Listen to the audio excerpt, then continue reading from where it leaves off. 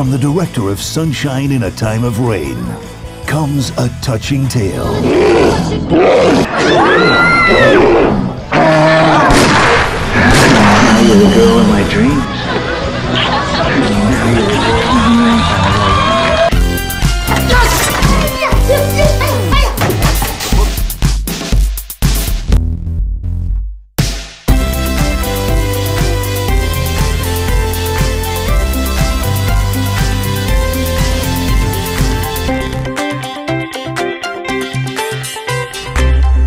Between art and engineering exists only in our minds.